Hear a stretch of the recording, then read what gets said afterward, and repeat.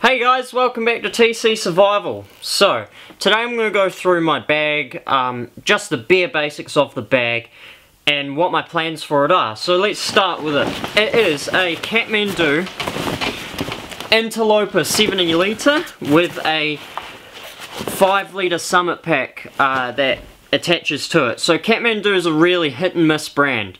They make some of the worst products that you can get and some of the best. Um, and you're also paying for the name a lot. It's a lot like Bear Grylls.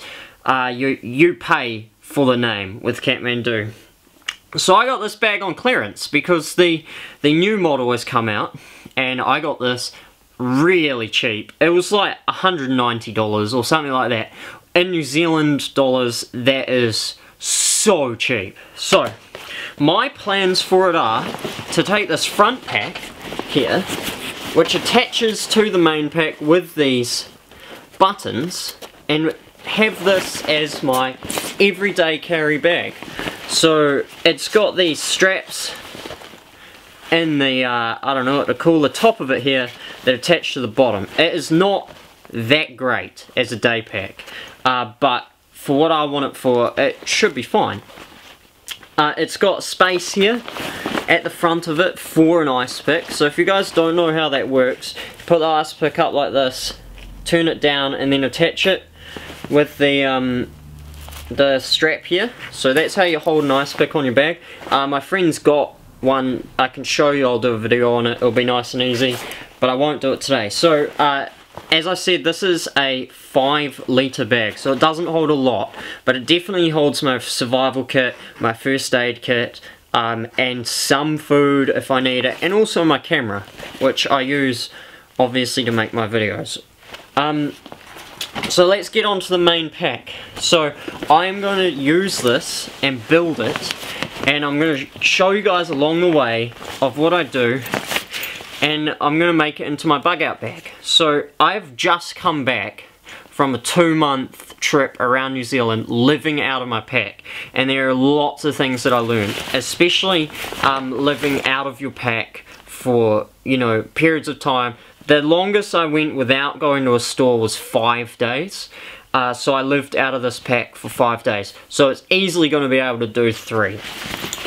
So um, the material is excellent. Uh, you can put water on it and it will just bead off, um, which I really like. Also, the straps are really strong. So this is my tent here. It's I'll do another video on the tent. And it's attached to these straps that will just clip off like this. And the strap here is fully adjustable. I really like that. It's really useful.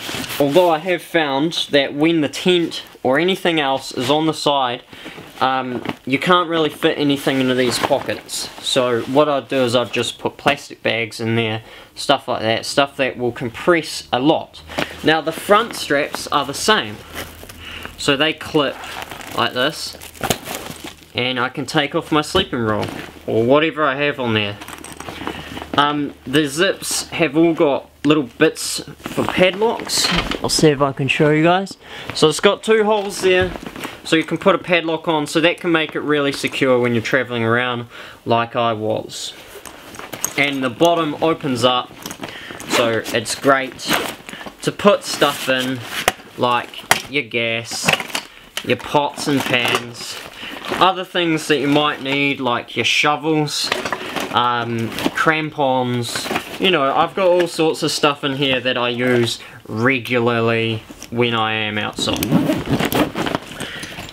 Alrighty, so let's go right back up to the top, to the top of the pack. It, it, it's quite good. Um, it really is. So, it's still lined with that waterproof material. See the shiny stuff? So the water still beads off it, which is obviously good for the top of your pack. Um, because that's where all the rain's going to hit really.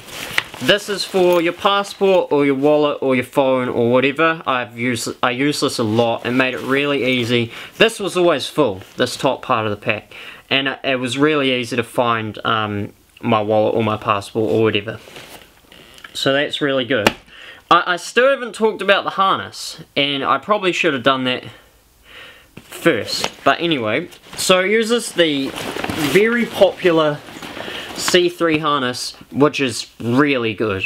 It's fully adjustable for anyone of any size. It's extremely comfortable. Um, it is an excellent harness system and a lot of Kathmandu bags these days use them. Alright, so let's move to the inside of the bag. There's a few quirky little features that I really like. Inside, here, there's a little washing bag. How cool is that? So you can put all your dirty clothes in there. Um, and it will sit underneath your dry bag if you use a dry bag like I do. I always use a dry bag and it will sit underneath it which is awesome. I can also access the very bottom of the pack from here. Uh, there's a like a zip a zip like um, a pull thing I don't know what it's called and also you've probably seen it now there's a handle here um, and this is so useful. Whenever I was hitchhiking, uh, it was so easy to pick my bag up and just throw it into someone's car. I think that's a really good design feature. And they know that you're going to use that and that it's going to bear a lot of weight. So they've reinforced it really well. It's really, really strong. So basically that is a look, just a look anyway at my bag. Uh, I will do a video every week just putting stuff into it and showing you guys what, um, like basically just building a bug out bag. So um, if you guys want to see all that, just remember to subscribe. Um, that'll be excellent. Thanks for watching guys. See you later.